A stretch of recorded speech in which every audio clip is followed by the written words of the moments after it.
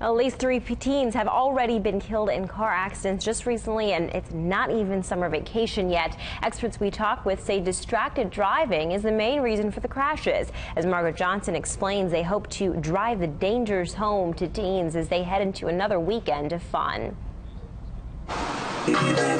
Listening and fidgeting with the radio. Yeah? Talking on the cell phone and texting. Those are the deadly ingredients experts say are killing and maiming so many of our teens on the highway, three of them just since Sunday.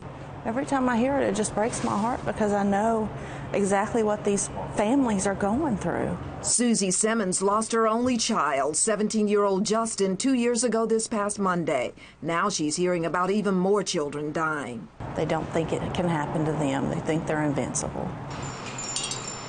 A memorial marks the scene of the terrible crash that not only killed Justin, but the 17 year old driver as well. Since the accident, Susie has traveled the state trying to reach out to other young drivers before it's too late. I just, I want them to know, you know, you're not untouchable. It can happen to you.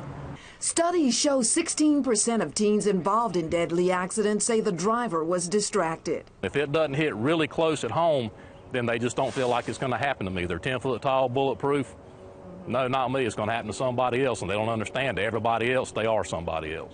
Kelly Groons is with the Vehicle Injury Protection Program. It attempts to educate and shock teens about the dangers of risky driving, like this demonstration a few weeks ago at Mount Tabor High.